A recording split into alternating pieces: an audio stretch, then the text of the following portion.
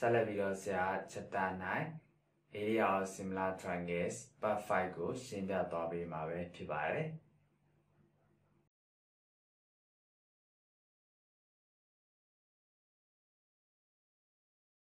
နံပါတ်7 PAN PB are the tangent segments at A and B to a cycle whose center is O PA နဲ့ PB တို့ဟာ1ထိမြင်ပြတ်တွေဖြစ်ကြပါတယ် ဘယ်မှာရှိလဲဆိုရင်တော့ A နဲ့ B ဆိုတဲ့အမှန်တမ်းရှိကြပါတယ်ပြီးတော့သူရဲ့ဆက်ဝိုင်းဆရာတို့ center O ဘို့ဖြစ်ယူရမှာဖြစ်ပါတယ်အဲ့တော့ဆရာတို့ဆက်ဝိုင်းကို O ဘို့ရှိတဲ့ဆက်ဝိုင်းတစ်ခုဆွဲတယ်ပြီးတော့1ထိမြင်ပြတ်ဖြစ်တဲ့ PA နဲ့ PB တို့ဆရာတို့ A နဲ့ B တို့နဲ့ထိအောင်ဆွဲလိုက်ပါတယ်အဲ့ရနေပြီးတော့မှသူက proof တသက်တည်ပြခိုင်းတယ် area of triangle PAB ratio area of triangle OAB ဟာ AB square ratio AO square နဲ့ညီကြောင်းတက်တည်ပြခိုင်းတာဖြစ်ပါတယ်။ဒါကြောင့်မို့ဆရာတို့ဒီမှာ triangle PAB ရဖို့ဆိုရင် A နဲ့ B ကိုဆက်ရမယ်။ triangle OAB ရဖို့ဆိုရင်လည်း OAOB ဆက်ရမှာဖြစ်တယ်။အဲ့တော့ဆက်လိုက်ပါတယ်။ပြီးရင်ဆရာတို့ဒီမှာစလုံးဆွဲသားချက်အနေနဲ့ OB ကိုဆက်လိုက်တယ်အဲ့ဒီခါမှာ AB ကို D နဲ့ဖြတ်တယ်ဆိုတဲ့အမှတ်လေးကိုလည်းဆရာတို့ယူလိုက်ပါတယ်အဲ့တော့ given အနေနဲ့ဆရာတို့ရေးတဲ့အခါမှာ cycle O မှာ PAN PBR tangents တတိပြခိုင်းတာက area of triangle PAB ratio area of triangle OAB equal to AB square by AO square နဲ့ညီကြောင်းတတိပြခိုင်းတာဖြစ်ပါတယ်အဲ့တော့သူရဲ့တတိပြချက်အနေနဲ့ဆရာတို့ဆောက်လုပ်ဆွဲတဲ့ချက်ဆွဲတဲ့အခါမှာ PO ကိုဆွဲတယ်ပြီးတော့အဲ့ဒီ PO က AB ကို D နဲ့တွားပြီးဖြတ်ပါတယ်အဲ့ဒီကမှဆရာတော်ဒီမှာမေကွန်းရဲ့ပေးကြရဆရာတော်ဘာတွေသိလဲဆိုရင် PA နဲ့ PP က တန်းညံစကမတ်တနည်းပြောရင်ပြင်ပစောက်ဝိုင်းပြင်ပအမှန်တိုင်းရှိတဲ့ဆွဲထားတဲ့ဝန်ထိမြင်နှစ်ကြောင်းဖြစ်တဲ့အတွက်ကြောင့်ဒီ PA နဲ့ PP ညီရဆိုတဲ့မှန်ကန်ကြတဲ့ချက်သိရပါမယ်ပြီးရင်ဒီမှာစောက်ဝိုင်းထဲမှာ OA နဲ့ OB က radius အခြေဝက်တွေဖြစ်တဲ့အတွက်ကြောင့်ဒီမြင်နှစ်ကြောင်းညီရဆိုတာကိုလည်းဆရာတို့သိရမှာဖြစ်ပါတယ်အဲတော့ဆရာတို့အဲ့ဒီချက်ကိုရေးလိုက်တဲ့အခါမှာ PA equal to PP က externally tangents at A and B OA equal to OB ကကြတော့ radii အဲ့ဒီခါမှာဒီအနာနှစ်စုံညီတဲ့အခါမှာဘာတွေဘလို့ဖြစ်နိုင်တယ်လဲဆိုတော့သိဖို့အတွက်ဆရာဒီ property လေးပြောပြမှာဖြစ်ပါတယ်ဒီနေရာလေးဆရာတို့ဒီမှာ property of a kite ဆိုတာလေးဆရာတို့ကြည့်ကြည့်အောင်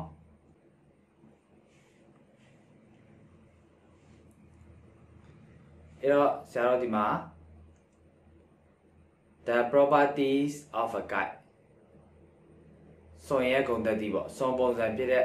စုကံရဲ့ဂုဏ်သက်တည်ဆရာတို့ကြည့်တဲ့အခါမှာဆရာတို့ဒီမှာဆွဲထားတဲ့ဒါလေးကစွန်ပုံလေးပေါ့အဲ့ဒီမှာ A B C D လို့ဆရာပေးထားတယ်ပရမသူရဲ့မကန်ချက်က two disjoint pair of constituted sides are congruent ကလျက်ရှိတဲ့အနာ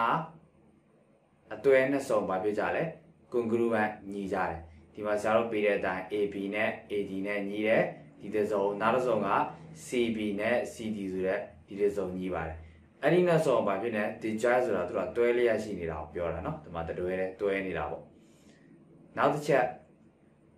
the diagonals are perpendicular တားဖြတ်မြင်နေတာတခုတခုတောင်းမကြတယ်ဒါကြောင့်မို့ AC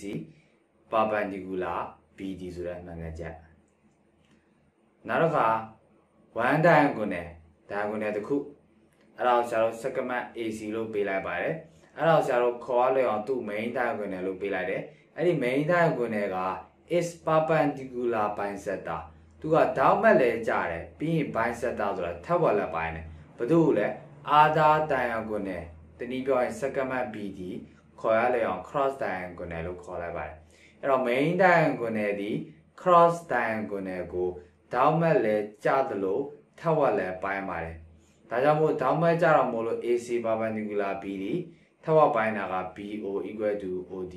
ဒီမှာ main diagonal တို့ cross diagonal တို့ခေါ်လိုက်လို့ဆိုတာဒီမှာကွဲပြားသောအောင်ဆိုပြီးဆရာတို့ကခေါ်လိုက်ခြင်းပဲဖြစ်တယ်ဆိုတော့သိရမှာပါနောက်တစ်ချက်ဒီ main diagonal ဖြစ်တဲ့ segment AC က bisect ထပ်ဝက်ပိုင်းပါတယ် a pair of opposite angle သူရဲ့မျက်နှာချင်းဆိုင်ဒေါက်တစ်စုံကို ညီမျှစွာထပ်ဝက်ပိုင်းပါတယ်ဆရာဦးမှာခြေထားတဲ့အတိုင်းဒီအပေါ်ကဓာတ်အိမ်မှာရှိတဲ့ဓာတ်နှစ်ခုကညီပါတယ်တောက်စီမှာရှိတဲ့တောင်းတစ်ခုကလည်းညီတယ်ဆိုတော့သိရမှာဖြစ်ပါတယ်နောက် number 5ချက်ကတော့ the opposite angles at the endpoints of the cross diagonal ဒီ cross diagonal ဆိုတာ segment BDU ပြောတာပါဒီတောက်ပြတ်မြင်မှရှိတဲ့ opposite angle မျက်နှာချင်းဆိုင်တောက်တွေကဘာဖြစ်ကြလဲဆိုရင် congruent ညီကြတယ်ဆိုတဲ့မှန်ကန်ချက်ကိုသိရမှာဖြစ်ပါတယ်အခုဒီဆရာပေးတဲ့ပုံစံမှာကဒီမှာရှိတဲ့အနားနဲ့စုံညီတာပေါ့ဒီပေးခဲ့တဲ့မိကုံမှာအဲ့လိုအနားနဲ့စုံညီခဲ့တဲ့အတွက်ကြောင့်သူဒီစွန်ပုံမှန်သိရမယ်စွန်ပုံဆိုရင်တောက်ဖြတ်မြင်နေတာတခုတခုတောင်းမကြတယ်ဆိုတဲ့အချက်ကိုသိရပါမယ်ဆရာဒီနှစ်ချက်ကိုသုံးမှာဖြစ်ပါတယ်ဒါကြောင့်မို့ကြည့်အောင်အဲ့တော့ဆရာတို့ဒီမှာ PA နဲ့ PB OA နဲ့ OBD အနာနှစ်စုံညီတဲ့အတွက်ကြောင့်သူဒီစွန်ပုံဖြစ်ပြီးစွန်ပုံဖြစ်လို့ရှိရင်ဒီတောက်ဖြတ်မြင်နေတာတခုတခုပဲပြီလေပါပန်တီကူလာဒေါင်းမဲ့ကြမအောင်သိရမှာဖြစ်တယ်။ဒါကြောင့်မို့လို့ဒါက PAOB က guide စွန်ပုံဖြစ်တယ်။ဒါကြောင့်မို့ PO က perpendicular AB PO က AB နဲ့ဒေါင်းမဲ့ကြတယ်ဆိုတဲ့အချက်ကိုဆရာတို့ရမှာဖြစ်ပါတယ်။ဒီနေရာလေးကဒေါင်းမဲ့ကြမှာဖြစ်ပါတယ်။ဆက်လက်ပြီးတော့ဆရာတို့ဒီမှာနောက်တစ်ချက်အနေနဲ့ သိရမှာကဒီ area triangle area of triangle PAB နဲ့ area of triangle AOB ကိုကြည့်တဲ့အခါမှာသူတို့မှာဒီသတိကံတစ်ခု triangle PAB နဲ့ triangle OAB ကသူတို့မှာ base ဖြစ်တဲ့ BD ချင်းတူပါတယ်အဲ့တော့ဆရာတို့သိရမှာအခြေတူတဲ့သတိကံတစ်ခုရဲ့ area အချိုးက light path အမြင့်မြင့်များရဲ့အချိုးနဲ့တူညီတယ်ဆိုတဲ့မှန်ကန်ချက်ရှိပါတယ်ပြန်ပြောပြရမယ် အခြေတူတဲ့သတိကံတစ်ခုရဲ့ area များအချိုးသည် light path အမြင့်မြင့်များရဲ့အချိုးနဲ့တူညီတယ်ဆိုတဲ့မှန်ကန်ချက်ရှိပါတယ်ဒါကြောင့်မို့အမြင့်မြင့်ဖြစ်တဲ့ PD ratio OD ကိုရမှာဖြစ်ပါတယ်ဟုတ်ပြီဒီမှာဆရာတို့နောက်တစ်ချက်သက်သိရမှာကဒီမှာဆရာပုံလင်းပြထားပါတယ်ဒါအတွက်ဆရာတို့ဘယ်လို property တွေရှိလဲဆိုတော့ဆရာတို့ကြည့်အောင်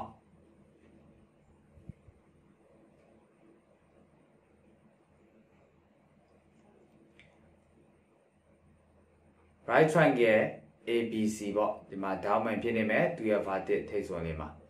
အဲ့ဒီထိပ်စွန်မကနေပြီးတော့မျက်နှာချင်းဆိုင်အနာကိုဆရာတို့ diamond ကြောင်ဆွဲလိုက်မယ်ဆိုပါစို့အဲ့လိုဆွဲလိုက်လို့ရှိရင်ဒီမှာ diamond 3ကံပေါင်းအားလုံး3ခုဖြစ်မှာဖြစ်ပါတယ် triangle diamond 3ကံ triangle ABC ရဲ့ဒီဘက်မှာ diamond 3ကံတစ်ခုက triangle ADB ရဲ့ ဒီဘက်မှာရှိတဲ့ Dharma သရိကံသူက triangle BDC ရဲ့ဒီသရိကံ၃ခု similar တရန်တူမယ်ဆိုတော့ဆရာတို့ပရမဥဆုံးအနေနဲ့သိရမှာဖြစ်ပါတယ်။ဒါကြောင့် in right triangle ABC မှာ BD က AC ပေါ်ကို perpendicular ဒေါမကျဆွဲထားလို့ရှိရင်ပရမချက်ဒီမှာဖြစ်တဲ့ဒေါမသရိကံ၃ခုက similar တရန်တူမယ်ဆိုတဲ့ဒီချက်ရအောင်ဖြစ်ပါတယ်။နောက်တစ်ချက်က အဲ့ဒီဒေါင်းမှန်ဖြစ်တဲ့ထိတ်ဆိုးမှန်ကနေပြီးတော့ဒေါင်းမကြဆွဲထားတဲ့ BDS square BD နှစ်ထပ်ကသူပိုင်းပြတ်လိုက်တဲ့ segment တွေရဲ့မြောက်လက်နဲ့ညီပါမယ်အဲ့တော့ AD into DC ဖြစ်ပါမယ်နောက်တစ်ချက်ကဒီဒေါင်းမှန်3ကအကြီးရဲ့ဒေါင်းမှန်ဆောင်အနားနှစ်ထပ်တနည်းပြောရင် AB square အဲ့ဒီ AB square ကသူ့ရဲ့နီးစပ်မြင်ပြဖြစ်တဲ့ AD နဲ့ဒေါင်းမှန်ကအနားဖြစ်တဲ့ AC ရဲ့မြောက်လက်နဲ့ညီပါတယ် အလားတူပဲဒေါင်းမန်ဆောင်နာ ABB ရှိလို့ရှိရင်ဒီဘက်ခြမ်းမှာလည်းဒေါင်းမန်ဆောင်နာ CB ရှိပါတယ်ဒါကြောင့်မို့ CB ရဲ့နှစ်ထပ် CB square ကလည်းပဲသူ့ရဲ့နီးစပ်မြင်ပြဖြစ်တဲ့ CD နဲ့ဒေါင်းမန်ကအနာရညှောက်လက်နဲ့ညီးပါတယ်ဒါကြောင့်မို့ CD into CA ဆိုတဲ့ property မှန်ကန်ချက်တွေကိုသိရပါမယ်ဒါတွေသိရင်ဆရာတို့ဒီခဏကပုံစံမှာပြန်ပြီးတော့အောင်မှာဖြစ်ပါတယ်ဒီမှာဆရာတို့ကြည့်အောင် ဒါကြောင့်မို့ဆရာတို့ဒီမှာအပေါ်မှာကြည့်ကြည့်လို့ရပါတယ်ဒီမှာဆရာခြေလိုက်တဲ့3ကံပေါ့ဒီမှာဒါမှ3ကံ PAO ဆိုတဲ့ဒါမှ3ကံမှာဆရာတို့ဘယ်လိုခေါ်လို့ရလဲဆိုရင်ဒီမှာဒီလဲဒေါင်းမှန်ဖြစ်တယ်ဆိုတော့ဆရာတို့သိရပါမယ်။ဘာကြောင့်လဲဆိုတော့တန်ဂျန်နဲ့ radius ကြားကဒါက90ဒီဂရီမှအလိုလိုသိရမှာဖြစ်တယ်။ဒါကြောင့်ခဏဆရာတို့ရှာတဲ့ပုံသင်နည်းရဆိုရင် AB square ဟာ PD into BO နဲ့ညီတယ်အလားတူပဲဒီဘက်ခြမ်းကကြည့်ရင်လဲ OA square က OD into OB နဲ့တူတယ်ဆိုတဲ့မှန်ကန်ချက်တွေသုံးမှာဖြစ်ပါတယ်ဒါကြောင့်မို့ဆရာတို့ဒီမှာ AB square ကဆရာခဏပြောတဲ့ BD PO နဲ့တူတယ် AO square ကကြတော့ OD OB နဲ့တူပါတယ်အဲ့ဒီအခါမှာဆရာတို့ကဒီမှာ PO နဲ့ OB ကြည်သွားတဲ့အခါမှာ PD by OD ဆိုတာရလာမှာဖြစ်ပါတယ် ဒါကြောင့်မို့ဒီဘက်အချိုးတစ်ခုညီရဲ့အတွက်ကြောင့်ဒီဘက်ခြံကအဖြစ်တစ်ခုညီပါပြီဒါကြောင့်မို့ဆရာတို့လိုချင်တဲ့ area of triangle PAB by area of triangle OAB ဟာ AB square by AO square နဲ့ညီရဆိုတဲ့မှန်ကန်ချက်ကိုရလာမှာပဲဖြစ်ပါတယ်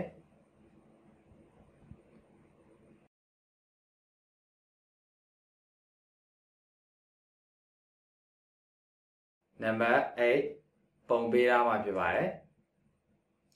in the figure angle A to B equal to angle B angle A to B နဲ့ angle B နဲ့ညီတဲ့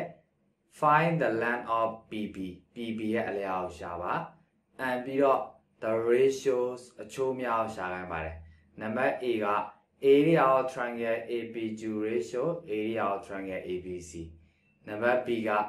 area of triangle ABQ ratio area of BCQB ဆိုတဲ့ အချိုးတစ်ခုရှာခိုင်းပါတယ်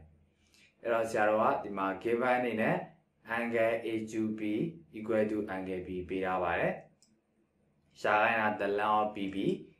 နံပါတ် A က area of triangle ABQ ratio area of triangle ABC နံပါတ် B က area of triangle ABQ ratio area of BCQB အဲ့တော့ပထမအဆုံးဆရာတို့ PB ရဲ့အလျာကိုရှာပါမယ် PB ရဲ့အလျာရှာဖို့အတွက်ဆိုရင်ဒီပုံမှာရှိတဲ့ တရိကံတစ်ခုတရံတူအောင်လောက်အောင်မှာဖြစ်တယ်။ဘာကြလို့ဆိုရင်တရိကံတစ်ခုတရံတူမှလိုက်ဘက်အနားတွေရဲ့အချိုးချင်းကြီးတယ်ဆိုတဲ့မှန်ကန်ချက်ကိုသုံးလိုက်ရင်ရှားလို့ခြင်းနဲ့ PB ကိုရှာမဲ့လမ်းစာရမှာဖြစ်ပါတယ်။ဒီမှာဆိုရင်တော့ PB တိုင်းရမရနိုင်ပေမဲ့ AB ကိုတော့ဆရာတို့ရှာလို့ရပါတယ်။အဲဒီကနေပြီးတော့မှ AB ကနေ AB ကိုနှုတ်လိုက်လို့ရှင်ရှားလို့ခြင်းနဲ့ PB ရမှာဖြစ်တယ်။အလို့ရှာဖို့တော့ကလည်းတရံတူအောင်အရင်ပြမှာဖြစ်တယ်။ အဲ့တော့တရံတူဖို့အတွက်ကလည်းသတိကံဒီမှာ angle A ကပုံတော့ဒီမှာဒီသားနဲ့ဒီသားနဲ့ကတူတယ်လို့လည်းပေးကြပေးထားတာမို့လို့ AA တရံတူစီမီယာတရံတူမှာအသေးကြပဲဖြစ်ပါတယ်။ဒါပေမဲ့ဆရာတို့သတိထားမှာကဒီသတိကအသေးနဲ့အကြည့်ကိုခေါ်တဲ့အခါမှာသူ့ရဲ့အမှတ်တွေက live ဖတ်နေဖို့လိုပါတယ်ပြောရမယ်ဆိုလို့ရှိရင်တော့သတိကအသေးဆရာတို့က A P Q လို့ခေါ်မယ်ဆိုပါစို့ဒါဆိုရင် A ကဘုံတော့ P ကကြံတော့လို့သတ်မှတ်ပြီး Q ကတူတဲ့ကြပေါ့ဒါဆိုရင်ဘုံကြံတူပေါ့ဘုံကြံတူအဲ့တော့တရိကအသေးကိုအဲ့လိုခေါ်လို့ရှိရင်တရိကအကြီးလဲဆိုတော့အဲ့လိုပဲခေါ်မှာဖြစ်ပါတယ်အဲ့တော့တရိကအကြီးမှဆိုရင်ဘုံတော့က A ဆိုတော့ A ကဘုံကျန်တာ C တူတာက B ဒါကြောင့်ဘုံကျန်တူဆိုရင် A C B ဆိုပြီးတရိကအကြီးကိုခေါ်မှ သူတို့ရဲ့အမှတ်တွေက live ဖတ်နေမှာဖြစ်ပါတယ်အဲ့တော့အဲ့လိုခေါ်မှာဖြစ်ပါတယ်ဘာကြောင့်လို့ဆိုရင်အဲ့လိုခေါ်မှာပဲဆရာတော်ပုံကိုမကြည့်ဘဲနဲ့သူ့ရဲ့ live ဘက်အနာအချိုးတွေဆရာတော်မှန်ကန်စွာခေါ်နိုင်မှာဖြစ်ပါတယ်လွယ်ကူကပို့ပြီးတော့လွယ်ကူတော့အောင်လို့ပါအဲ့တော့အင်းပထမဆုံးဒီတိကနုကုတရံဆိုရောင်းပြတဲ့အခါမှာဆရာခဏပြောခဲ့သလိုပဲအင်း triangle APQ အမ် APQ လို့ခေါ်လို့ရှိရင် တိကံကြည့်ကြတော့ ACB လို့ခေါ်လိုက်ပါတယ်အဲ့ဒီမှာပရမတစ်ချက် given ပေးထားတဲ့တစ်ချက်နောက်တစ်ချက်က angle A angle A က common angle ပုံတော့ဖြစ်တဲ့အတွက်ကြောင့် AA similarity ကတရံတူပါတယ်ဒါကြောင့်မို့လို့ရှာတော့သူရိကနုကတရံတူလို့ရှိရင်သူကလိုက်ပတ်နာအချိုးတွေညီတယ်ဆိုတဲ့မှန်ကန်ချက်ရဒီမှာဆိုရှာတော့ဘယ်ချိုးသုံးမလဲဆိုရင် A2 by AB ဆိုတဲ့အချိုးတစ်ခုသုံးမယ်နောက်တစ်ခါ အာ AP by AC ဆိုတဲ့အချိုးဒီနှစ်ခုသုံးလိုက်ရှာလို့ခြင်းနဲ့အဖြေရလာမှာဖြစ်တယ်အဲ့တော့အဲ့မှာ AB by AC equal to AQ by AB အမှားကျတော့အစားသွင်းတဲ့ AB နေရာမှာ2 AC နေရာမှာ4 AQ နေရာမှာက3 AB ကမသိပါဘူးအဲ့ဒီကနေကျတော့ကြက်ကြီးကမြောက်ပြီးရှင်းလိုက်တဲ့အခါမှာတော့ AB က6ရတယ်အဲ့တော့ AB ရတော့ဆရာလို့ခြင်းနဲ့ PB ကိုလိုချင်ရင် PB ကိုလိုချင် AB တဲက AB နှုတ်ရင်လိုချင်တဲ့အဖြေရမှာပေါ့ ဒါကြောင့်မို့ဆရာတော့နှုတ်လိုက်လို့ရှိရင်4ဆိုပြီးတော့ပထမတစ်ပိုင်း PB ရဲ့လမ်းအလျာကိုရပြီဖြစ်ပါတယ်အဲ့တော့နံပါတ် A ဒီသတိကနှစ်ခုရဲ့အချိုးရှာခိုင်းတာဖြစ်ပါသတိကနှစ်ခုရဲ့ area အချိုးရှာခိုင်းတာဖြစ်တဲ့အတွက်ကြောင့်ဒီမှာရှာတော့သတိကနှစ်ခုရဲ့ area အချိုးက live back အနားများနှစ်ထပ်ကိန်းများအချိုးနဲ့တူညီတယ်ဆိုတော့မှန်ကန်ချက်ရဆရာတို့ဒီမှာတန်မိုးတွေတည်တဲ့လိုက်ဘက်အနာနှစ်ခုခေါ်လိုက်ပေါ့အဲ့တော့ဒီမှာ တရိကနုတရံသူပြီးသားဖြစ်တယ်ဒါကြောင့်မို့သူ့ရဲ့အချိုးဆရာတို့ AB square ratio AC square ခေါ်လိုက်တယ်ဘာကြလို့ဆို AB လဲဆရာတို့တည်တယ် AC လဲဆရာတို့တည်တာမဟုတ်လို့အဲ့တော့ဆရာတို့ဒီမှာအစားသွင်းလိုက်တဲ့အခါမှာသူ့ဖြစ်1.4ဆိုပြီးဆရာတို့ရလာမှာဖြစ်ပါတယ်နံပါတ် B က area of triangle ABQ ratio area of triangle BCQB ရှာမှာဖြစ်ပါတယ်အဲ့တော့အဲ့လိုရှာဖို့တော့ရှာတော့ဘယ်လိုလုပ်လိုက်လဲဆိုရင်ဒီမှာရခဲ့တဲ့အဖြေပေါ့ ရခဲ့တဲ့အဖြေကပိုင်းဝေးကိုပိုင်းကြီးမှာလပြန်ပြီးနှုတ်လိုက်ပါတယ်ဒီဘက်ခြမ်းမှာလည်းပိုင်းဝေးကိုပိုင်းကြီးမှာလည်းနှုတ်တယ်ဒါဆိုရင်ဒီဘက်ခြမ်းကလည်းပိုင်းဝေးကိုပိုင်းကြီးမှာလပြန်နှုတ်ပါမယ်အဲ့တော့ပိုင်းဝေးဖြစ်တဲ့ area of triangle ABQ ပိုင်းကြီးမှာလည်းနှုတ်တယ်ပိုင်းဝေးက1ပိုင်းကြီးမှာလည်းနှုတ်တယ်အဲ့တော့နှုတ်လိုက်တဲ့အခါမှာအပေါ်ကတော့ area of triangle ABQ ပဲကြံမယ်အောက်မှာကတော့ area of triangle ACB အကြီးကြီးတွေက area of triangle APQ ကိုနှုတ်လိုက်တဲ့အခါမှာဒီမှာဆရာလို့ခြင်းတဲ့ area of BCQB ရလာမှာဖြစ်ပါတယ်။အဲကြောင့်ဒီဘက်ခြမ်းမှာလိုချင်တဲ့ဖြစ်ရပြီ။ဒီဘက်မှာလည်း1 by 4 minus 1ဆိုပြီးတော့3ဆိုပြီးတော့ဆရာလိုချင်တဲ့သူ ratio က1 by 3ဆိုတဲ့ ratio ကိုရလာမှာပဲဖြစ်ပါတယ်။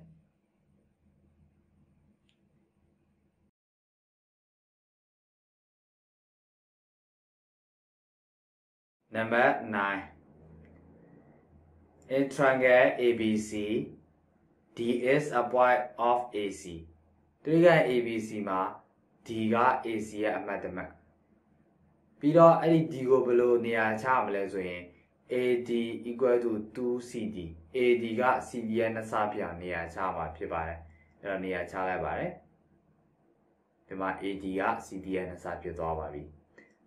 နောက်တစ်ချက်က E is on BC E က BC ပေါ်မှာရှိမယ် သူကဘယ်လိုနေရာချမလဲဆိုရင် DE နဲ့ AB ပြန်အောင်နေရာချမှာဖြစ်ပါတယ်ပြီးတော့ E ကိုနေရာချတယ်ဆွဲလိုက်တဲ့ DE က AB နဲ့ပြန်လာပါတယ်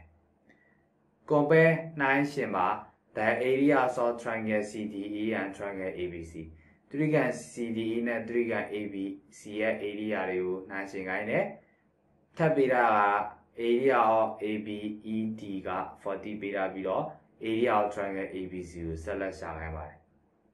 အဲ့တော့ဆရာတို့ given အနေနဲ့ရေးတဲ့အခါမှာ area of triangle ABC မှာ DE parallel AB AD equal to 2CD area of ABED equal to 40ပေးထားပါတယ်ရှာခိုင်းတော့ဆရာတို့ရေးလိုက်ပါတယ် area of triangle CDE by area of triangle ABC နဲ့ area of triangle ABC ကိုရှာခိုင်းပါတယ်အဲ့တော့ပထမဒီအချိုးဆရာတို့စရှာတဲ့အခါမှာ triangle DC DEC နဲ့ triangle ABC ကတရံတူကြပါတယ်။ဘာကြောင့်လဲ DE နဲ့ AB နဲ့ပြန်လို့ပါ။အဲ့တော့တရိကအသေးဖြစ်တဲ့ triangle DEC ဒီမှာဆရာတော်က D ဆိုတဲ့ပြန်တဲ့အနာပါတယ်။တရိကအကြီးမှာ ABC ဆိုတဲ့တရိကသူ့မှာက AB ဆိုတဲ့ပြန်တဲ့အနာပါတယ်။ဒါကြောင့်မို့ဒီတရိကနကိုတရံတူပါတယ်။ခေါ်တဲ့အခါမှာလည်းသူတို့ခေါ်တဲ့အမှတ်တွေကလိုက်ဖက်နေရမှာဖြစ်တယ်။ဒါကြောင့်မို့တရိကအသေးက DEC တရိကအကြီးက ABC ပေါ့အဲ့တော့ဒီတရိကနှစ်ခုတရံတူတဲ့အတွက်ကြောင့်တရံတူတဲ့တရိကနှစ်ခုရဲ့ area များအချိုးသူတို့အချိုးက live back အနာများနှစ်တက်ကိန်းများအချိုးနဲ့တူညီပါတယ်အဲ့ဒီမှာ live back အနာ၃ခုရှိတဲ့စီမှာမှာဆရာတို့အတော်ဝင်မဲ့ DC square by AC square ယူလိုက်ပါတယ်အဲ့ဒီမှာဆရာတို့ဘယ်လိုစားသွင်းလဲဆိုတော့ DC square တော့ DC square ပဲ AC square ညမှာဘယ်လိုစားသွင်းတယ်လဲဆိုရင် AC ပေါ့ ဆရာတို့ပေးချက်က AD က 2CD လို့ပေးတာတယ်ဒါကြောင့် AD နေရာမှာက 2CD ရှိတယ်ငကူကဒီမှာ CD ရှိတယ်ဆိုတော့ AC ရဖို့ဆိုရင် 2CD နဲ့ CD ဆိုရင် 3CD ပြောရတယ်အဲ့တော့ 3DC လို့ရေးလိုက်ရပါတယ်အဲ့တော့ AC နေရာမှာ 3DC စားသွင်းလိုက်တော့ 3DC တို့ square ဖြစ်သွားပါတယ်အဲ့တော့ set ရှင်းလိုက်တဲ့အခါမှာဆရာတို့ဒီမှာ3 square က9ရပါတယ် DC square ချင်းကြည်သွားတဲ့အခါမှာ1/9ဆိုတဲ့ ပရမအဖြေဆရာတို့ရပြီဖြစ်ပါတယ်ဒုတိယအဖြေ area of triangle ABC ကိုဆရာတို့ဆက်ရှာမှာဖြစ်ပါတယ်အဲ့ဒါကိုဆက်ရှာဖို့အတွက်ဆရာတို့ကဒီမှာ area of triangle DEC ကိုဆရာတို့ပြောင်းလိုက်တဲ့အခါမှာ area of triangle DEC ဆိုတာဒီအကြီးကြီးဖြစ်တဲ့ area of ABC ကနေပြီး area of ABED ကိုနှုတ်လိုက်မှာဖြစ်ပါတယ်အကြောင်းမို့အပေါ်က area of triangle DEC နေရာမှာ area of triangle ABC minus area of AB ED ပြောင်းလိုက်ပါတယ်ကျန်တာဒီတန်းပြန်ကူးရေးလိုက်ပါတယ်အဲ့ဒီမှာမှဆရာတော်ကပုံစာပေးထားတာ area of AB ED က40 degree တိတဲ့အခါမှာကြက်ကြီးကမြောက်ပြီးဆရာတော်ရှင်းလိုက်တဲ့အခါမှာ9ကို area of triangle ABC နဲ့မြောက်တယ် minus area of AB area 40မို့လို့9နဲ့မြောက်တော့360 equal to area of triangle ABC ဒီဘက်လာပြီးနှုတ်လိုက်တယ် 360ကဒီဘက်သွားပြီးဆက်ရှင်းလိုက်တဲ့အခါမှာ area of triangle ABC က45 square unit ဆိုတဲ့ဖြေကိုရလာမှာပဲဖြစ်ပါတယ်45 square unit ပဲဖြစ်ပါတယ်